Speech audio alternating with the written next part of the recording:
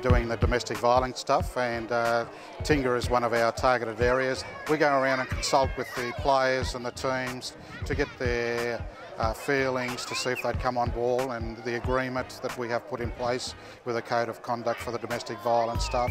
My role has been as just as a consultant to, to get to really all the areas and introduce the, the domestic violence program. I work for the Department of Community Services at Inverell. The area that we cover, we cover a very big area, all the little towns including Tingha, Warialda, Inverell, Glen Innes, Ashford and Bingara. That's the area our, our department covers. I'm the manager casework uh, at Inverell. We've got Mudgingull involved who are going into those communities with Larry Corowa, running domestic violence workshops with the players, like screaming and shouting and throwing things is actually domestic violence. Intimidation is domestic violence. It's not just hitting and kicking and punching people.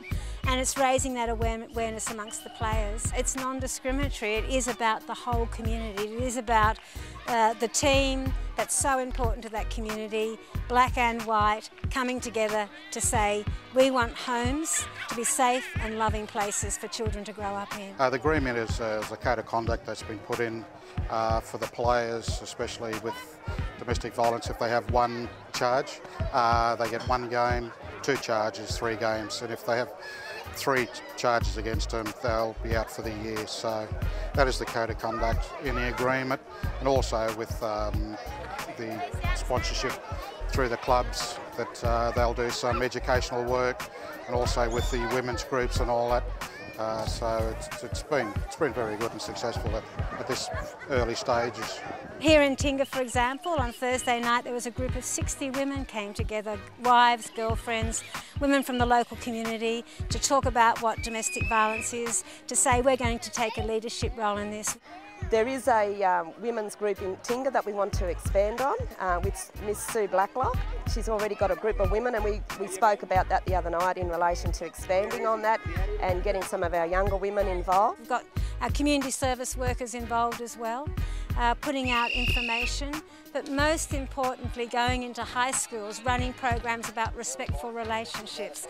So it's a whole community um, direction, but the key to it is the footballers, the football team, including the juniors, saying we're going to be the role models for this. There's all types of violence and I've seen it over the 30 years that I've been involved in rugby league and it's a serious subject that um, we don't talk about.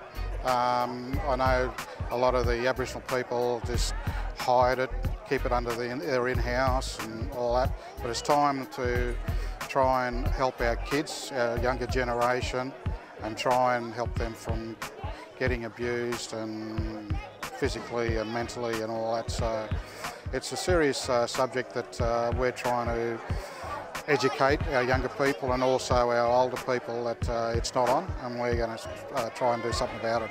It gives them an avenue, um, a reason to do something about it. And uh, who knows what some of the personal stories will be. But it is, a, um, it is an idea that it's so, it's an old-fashioned idea, it's simple. It's using role models to say, this is the way we want our community to be. I think it's going to have really far-reaching and long-lasting effects. We had a big yarn to the ARL. Um, Geoff Carr and Ricky Walford have been really helpful.